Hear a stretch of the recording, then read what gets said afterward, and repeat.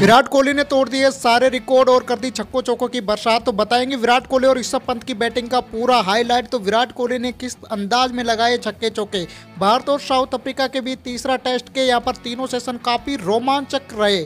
भारतीय टीम ने टॉस जीतकर पहले बल्लेबाजी का फैसला किया था। शुरुआत ज़रूर बेकार रही भारत के ओपनर। जल्दी आउट हो गए, लेकिन उसके बाद में जैसे विराट कोहली क्रीज पर आए, उसके बाद में असली रोमांच तब शुरू हुआ। विराट कोहली ने आते ही तो पहले काफ़ी स्लो खेले और पंद्रहवीं गेंद पे जाके उन्होंने काफ़ी शानदार कवर ड्राइव जमा यह शॉट काफ़ी वायरल हुआ और ट्विटर पर ट्रेंड बन गया। उसके बाद में विराट कोहली ने रबाडा को एक शानदार छक्का जड़ा।